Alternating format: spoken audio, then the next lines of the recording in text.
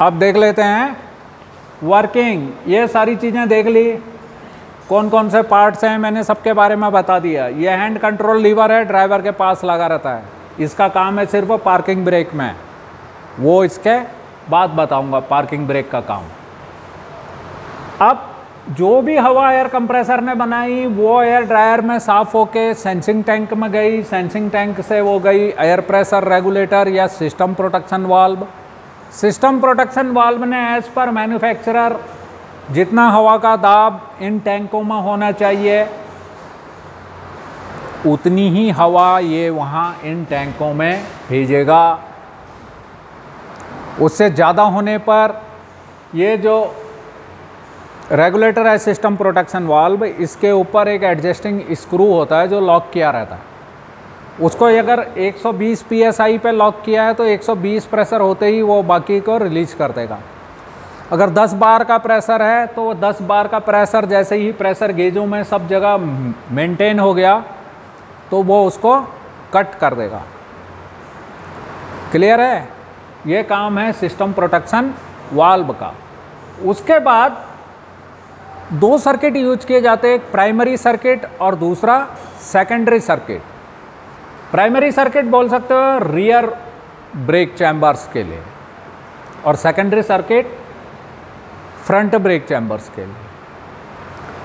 अब ये जो कंप्रेस्ड एयर इनमें बंद है, इनमें रखी हुई है कलेक्ट करके रखी हुई है, यहाँ से ये हवा गई सीधे पहले प्रेशर गेज में ताकि ड्राइवर उस चीज़ को मॉनिटर करे कि यस प्रेशर पूरा है। फिर यहाँ से गई है स्टील के मज़बूत पाइपों के द्वारा brake valve, dual brake valve में।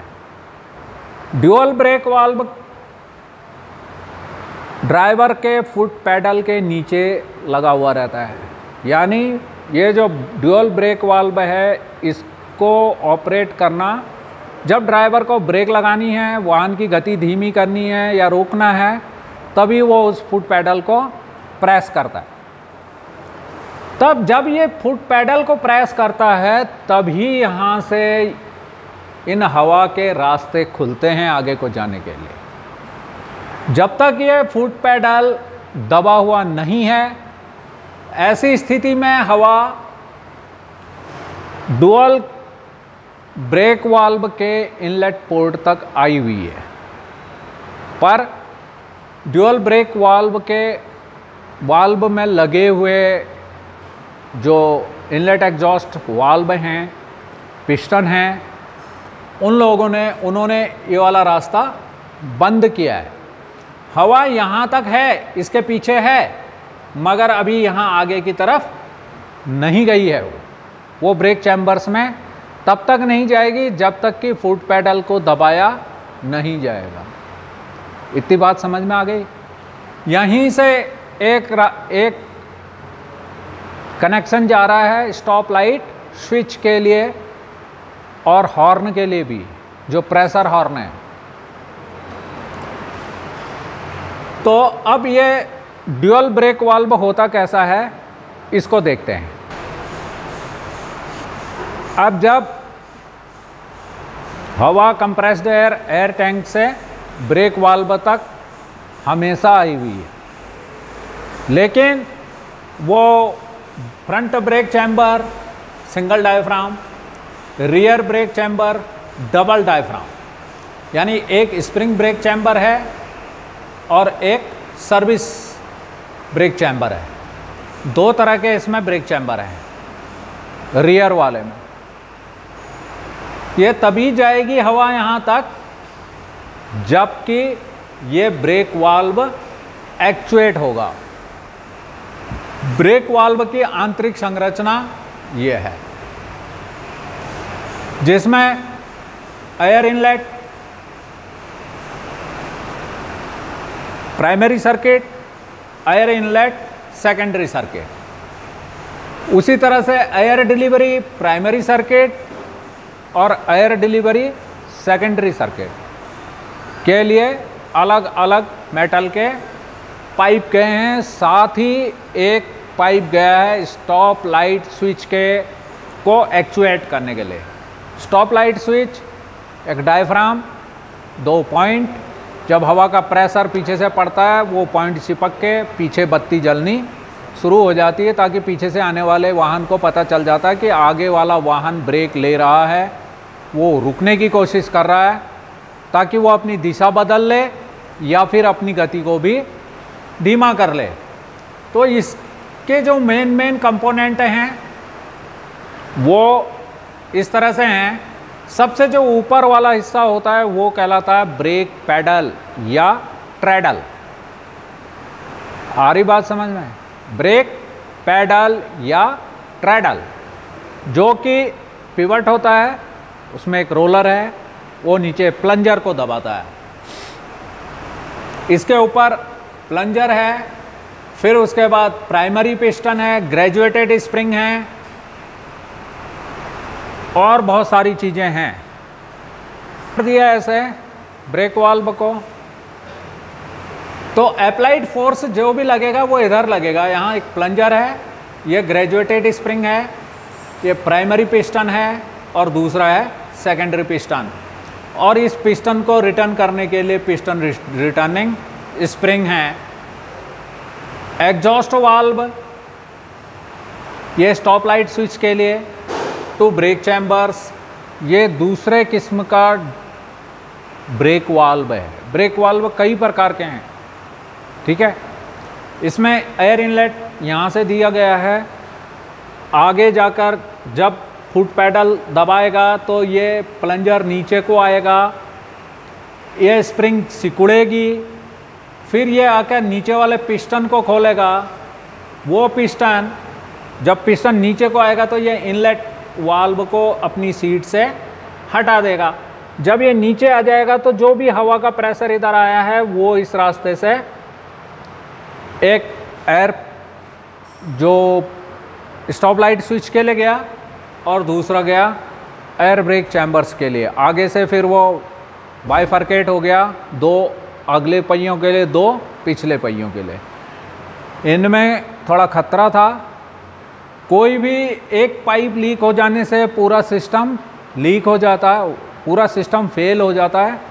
इसलिए इसके स्थान पर अब वो डुअल ब्रेक वाल्व लगाए जाते हैं ताकि फ्रंट सर्किट अलग और रियर सर्किट अलग।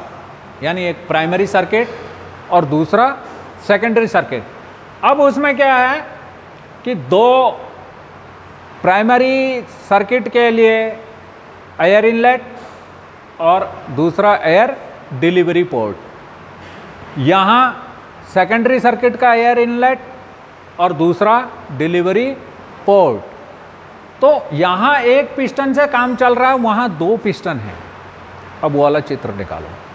तीन पोजीशनें दिखाई गई हैं, इसकी तीन पोजीशनें हैं। पहला रिलीज्ड पोजीशन यानी ब्रेक पैडल पर कोई दबाव नहीं है। दूसरा ब्रेक पैडल पर हल्का सा दबाव है, पर वह होल्डिंग पोजीशन में है। और तीसरी पोजीशन है एप्लाइड पोजीशन एप्लाइड पोजीशन में प्राइमरी एंड सेकेंडरी सर्किट दोनों जगह को हवा जा रही है। अब ये खुलता कैसे है? अभी थोड़ी देर पहले जो यहाँ पर चित्र लगाया था, उसमें पैडल के साथ लगा हुआ रोलर और एक प्लंजर। जब पैडल को दबाया, रोलर ने प्लंजर को दबाया, प्लंजर ने उस ग्रेजुएटेड स्प्रिंग को दबा के प्राइमरी पिस्टन को दबाता है। प्राइमरी पिस्टन जब नीचे की तरफ़ को आ रहा है तो वो एग्जॉस्ट पोर्ट को इसका बंद कर दे रहा है। और इनलेट पोर्ट को खोल दे रहा। एग्जॉस्ट पोर्ट का मतलब ये डिलीवरी पोर्ट नहीं है। एग्जॉस्ट पोर्ट वो पोर्ट है, जब ब्रेक रिलीज़ कर दिया जाएगा तो सिस्टम की हवा उस रास्ते से वायुमंडल में विक्षेपित हो जाएगी। वो वाला एग्जॉस्ट पोर्ट है। और जहाँ ये वाला पोर्ट है डिलीवरी पोर्ट जो कि जा रहा सीधे इन स्प्रिंग ब्रेक एक्चुएटर्स को। एक फ्रंट को और दूसरा रियर को। रियर में दो पाइप जा रहे हैं। एक इधर से ये सर्विस पोर्ट है और ये स्प्रिंग पोर्ट है। इस पर बाद में आएँगे हम। अब जब ये वाल्व नीचे की तरफ़ आया, इसने पहले ऊपर वाले एग्जॉस्ट पोर्ट को बंद किया और प्राइमरी सर्किट के लिए हवा को खोल दिया और दबा। नीचे आया रिले पिस्टन को चलाया रिले पिस्टन ने सेकेंडरी सर्किट के एग्जॉस्ट पोर्ट को बंद करके इनलेट पोर्ट को खोल दिया और जो टैंक की हवा है, अब सीधे वो स्प्रिंग ब्रेक एक्चुएटर्स की तरफ़ चली गई। साथ ही एक पाइपलाइन और गई है, जो कि सीधे एक डायफ्राम को एक्चुएट कर रही है और स्टॉप लाइट स्विच को जला रही है। क्लियर है? अब जब वो प्रेशराइज्ड एयर पाइप के थ्रू फ्रंट चैम्बर में चल पहुँचती है तो यहाँ पर, ये देखो एयर लाइन यहाँ कनेक्ट हुई। जब वो कंप्रेस्ड एयर इसके ऊपर आई तो उसने इस प्रेशर प्लेट या डायफ्राम को फुला दिया। फुलाने से ये स्प्रिंग सिकुड़ी और इसके साथ ही लगी हुई है जो पिस्टन है और पिस्टन के साथ ही लगा हुआ। ये डायफ्राम है, ये पिस्टन के साथ ही लगा हुआ। ये जब डायफ्राम फूला, इसने इस पुश रॉड को बाहर की तरफ़ निकाल दिया और पुश रॉड ने जब बाहर की तरफ़ को निकली तो उसने स्लेक एडजस्टर को हिला दिया। स्लेक एडजस्टर सीधा था, उसको टेढ़ा कर दिया तो उसके साथ लगी हुई जो रॉड है, वो भी उसमें एक टॉर्क जनरेट हुआ।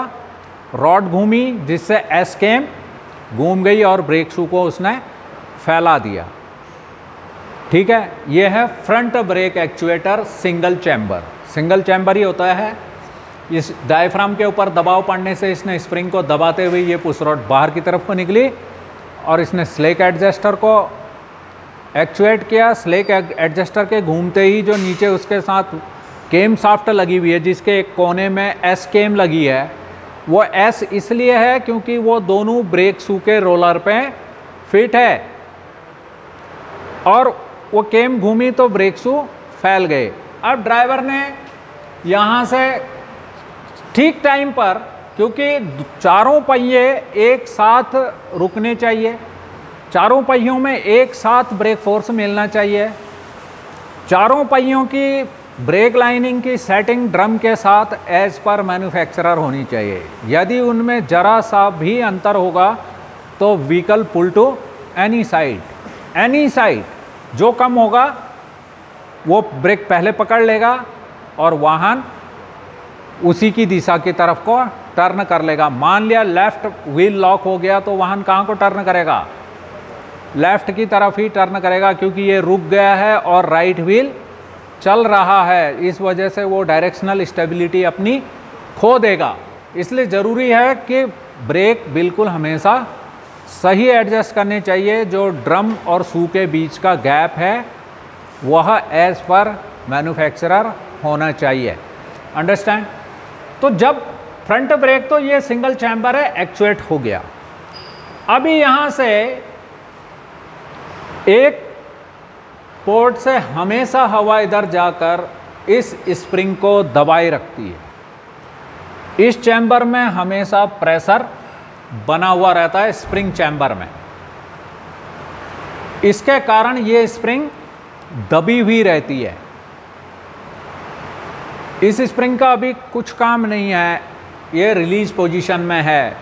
अगर ये स्प्रिंग यहाँ हवा कम हो जाएगी, इस डायफ्राम के ऊपर से हवा का दाब कम हो जाएगा तो ये वाला, ये वाली स्प्रिंग अपनी ताकत से फैलेगी। और जब ये फैलेगी तो ये स्लेक एडजस्टर को मूव कर देगी। ये पुश रॉड बाहर निकल जाएगी और ब्रेक लग जाएँगे। ये है फेल सेफ़।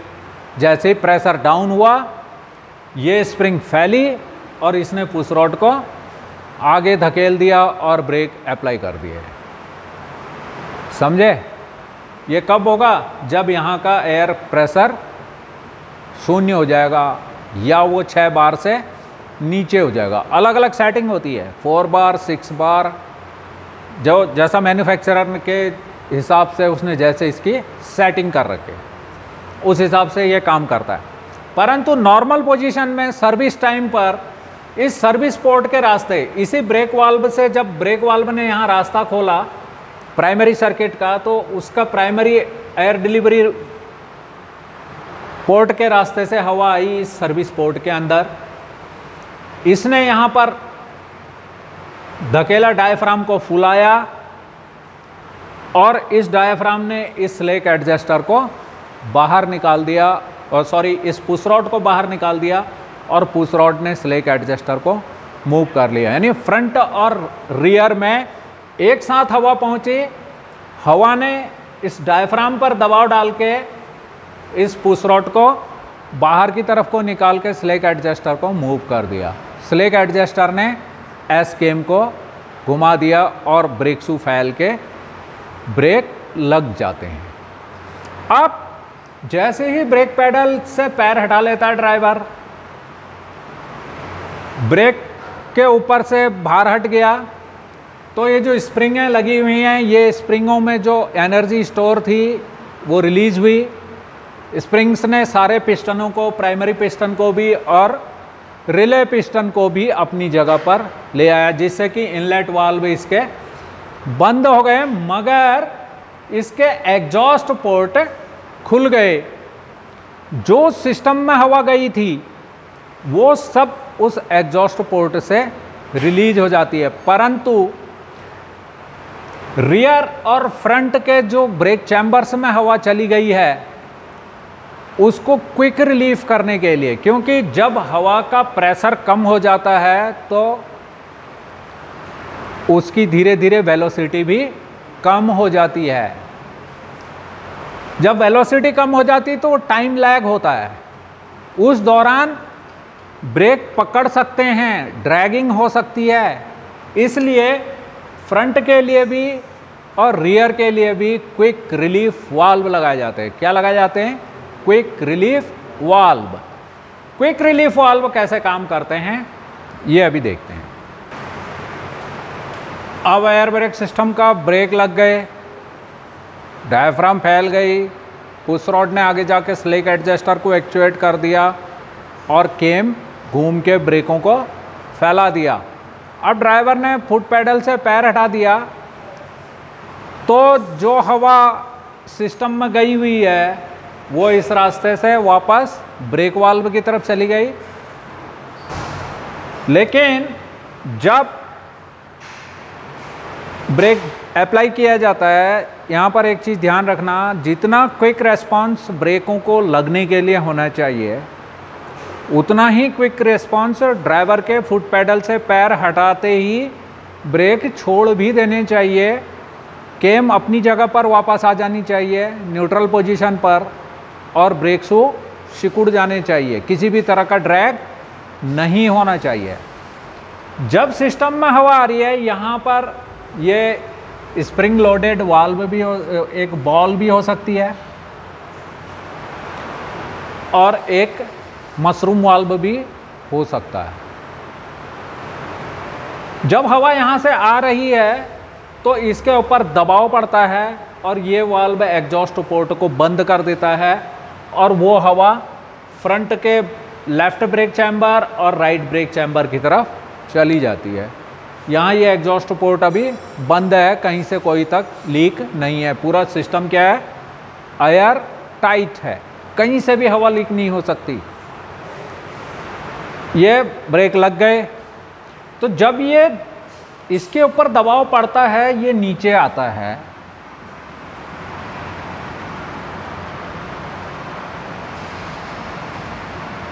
ये पहले ऐसा और फिर ऐसा फ्लैक्स हो जाता है।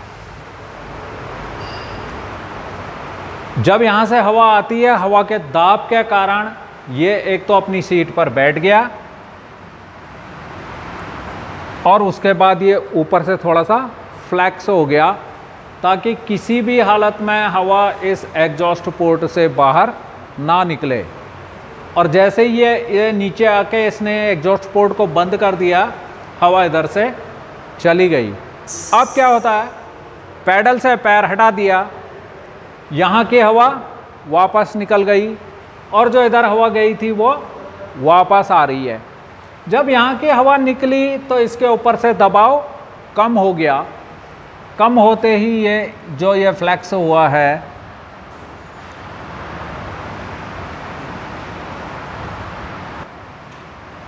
खड़ा हो गया।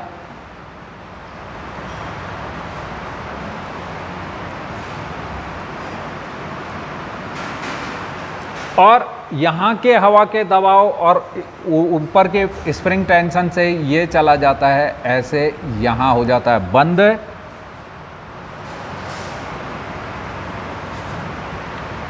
और ये वाला पोर्ट खुल के